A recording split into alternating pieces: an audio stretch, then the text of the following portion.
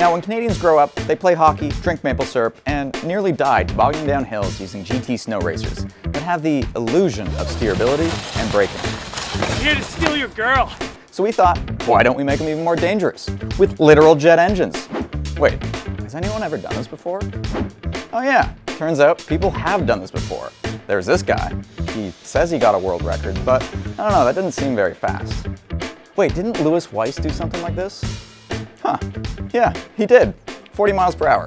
Not bad. I guess we have a speed to beat.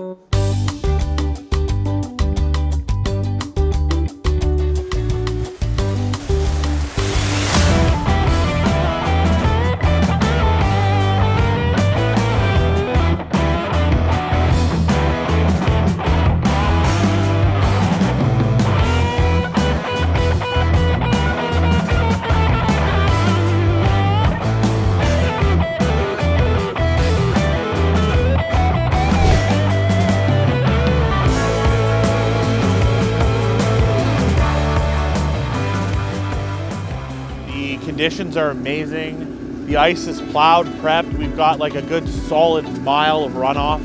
I'm thinking this will be the fastest anyone's ever gone on a jet-powered GT. It's so it's so cold that the oil is like almost gel. It'll be really good for the jets though. kind of a bit of a special place too. Um, it's a track that's completely maintained uh, by local snowmobilers uh, that use it specifically for snowmobile drag racing. Why can't I put that on mine over there?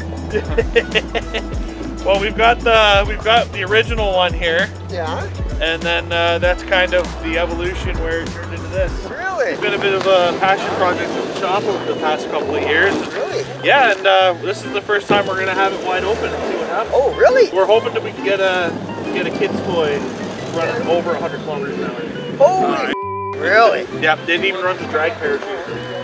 Really? Yeah. Holy f- You can run that uh, summer and winter. When I first seen that man, I said, holy this is unreal. You gotta buy that invention somewhere? I know you see a lot of it on YouTube, but that thing around here? Well, that's where you're gonna see it. Yeah. For, uh, for our YouTube channel. Oh, Just are you? it work. YouTube channel? Yep, that's what we do. Watch that every goddamn day. Now this is the first time on ice, so we don't know how it's going to handle. We don't know how it's going to perform. So this is just a shakedown run to see what the track feels like, what the GT handles like. Okay, boost pack in, loop key in. Are we rolling on everything? Snap the throttle, fire it up.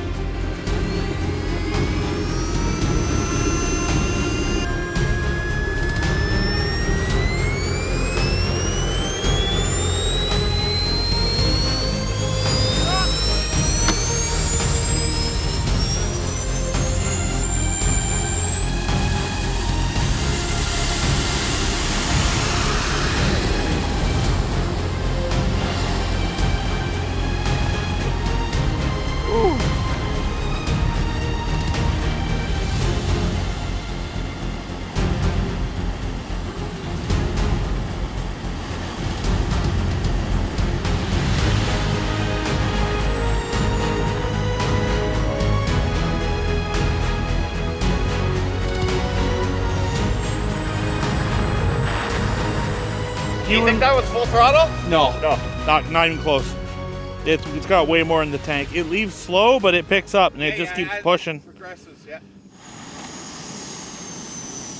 Nice driving.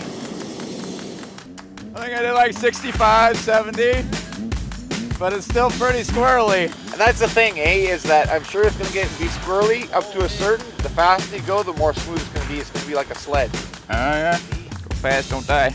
Okay, clear start. Yeah. Because 100 is really fast. This thing's a kid's toy, you know, with jet engines on it.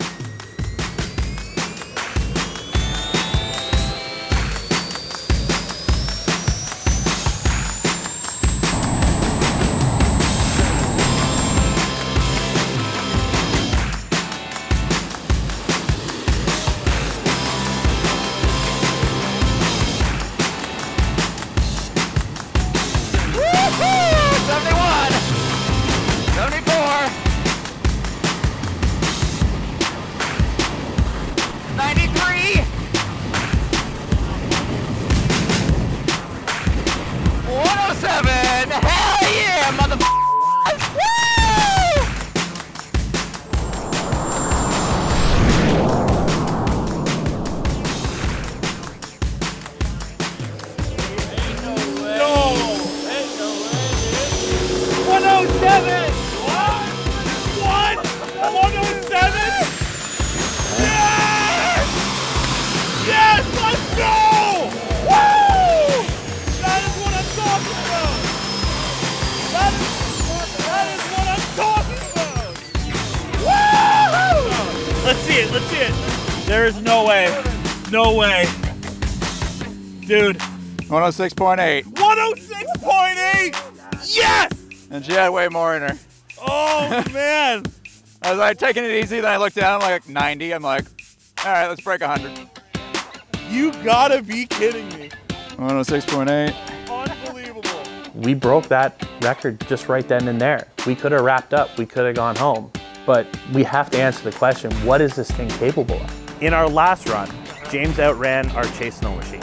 So we're gonna borrow my friend's drag sled, which goes way faster, to see if we can keep up. We're gonna hold this thing wide open. We're gonna finally see what this thing can do. He's amped, I'm amped, cameras are rolling, we're ready to rock and roll.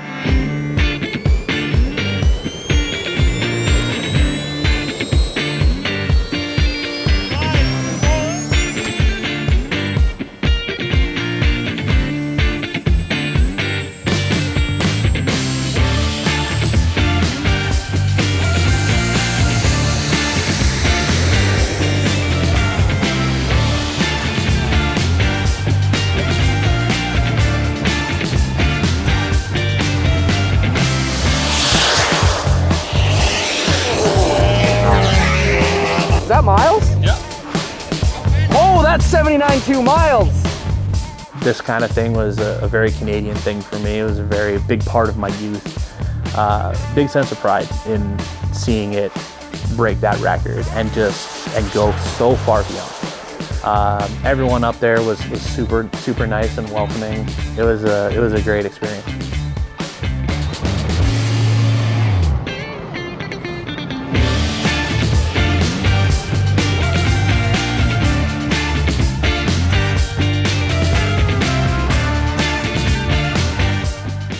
Projects and grab your own Hacksmith merch at hacksmith.store. Every order helps us keep making awesome builds like these.